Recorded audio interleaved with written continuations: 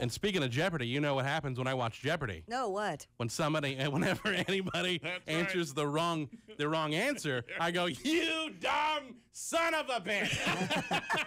Right at the television, you Right scream at- it. yeah, I, I like to make myself feel better. That's right. better about myself. I didn't even know the answer. I still say it. That's right. Uh. Does watching Jeopardy make you feel? Because it always makes me feel stupid. I never know. I'll, I'll they'll have an entire category and I'll get zero. Oh yeah.